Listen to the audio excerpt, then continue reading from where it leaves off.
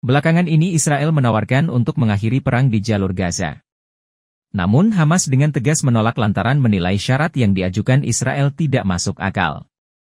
Yakni, Israel mengajukan usulan untuk mengakhiri perang di Gaza dengan memberikan pimpinan Hamas, Yahya Simar jalan keluar yang aman. Meski demikian, sebagai imbalannya, Israel meminta pembebasan segera semua sandera yang ditawan di Gaza. Syarat lainnya adalah demilitarisasi jalur Gaza dan pembentukan kekuatan pemerintahan alternatif di wilayah tersebut.